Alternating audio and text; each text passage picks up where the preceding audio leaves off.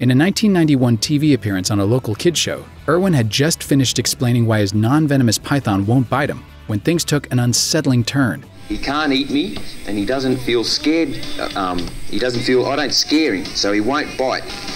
Um, you might have to cut him. He's biting my neck. I'm serious.